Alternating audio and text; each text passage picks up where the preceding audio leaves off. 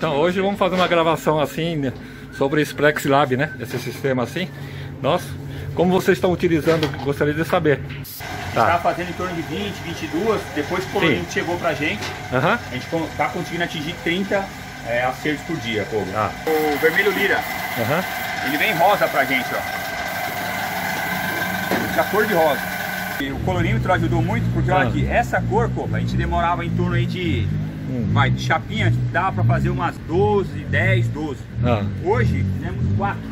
Com 4 chapinhas a gente conseguiu fechar. O tricote a gente costuma pedir um pouco mais do prazo. Média dois dias para fazer o ajuste do tricote. Sim.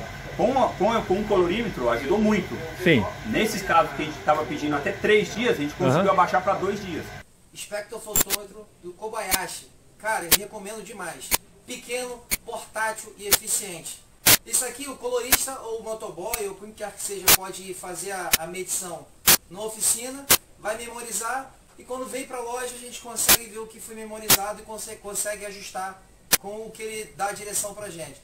No caso aqui está cadastrado os pigmentos da Skylark, que é ótimo, bate certinho. Galera, recomendo mesmo, bate certinho, dá uma ajuda infinitamente grande para gente. A gente consegue ter todo o norte, todo o caminho para ajustar a tinta. E ó, 100%. Super recomendo, galera.